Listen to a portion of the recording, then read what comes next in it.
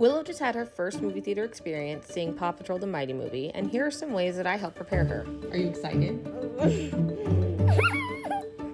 we spent a lot of time in the weeks before the movie talking about what exactly to expect at a movie theater. What are you going to do if you think it's loud?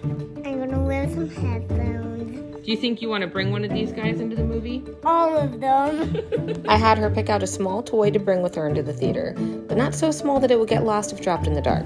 So you think you're big enough? Yeah. And you're gonna be brave during the movie? Yeah. Even though Mayor Humdinger's gonna be really big? Yeah.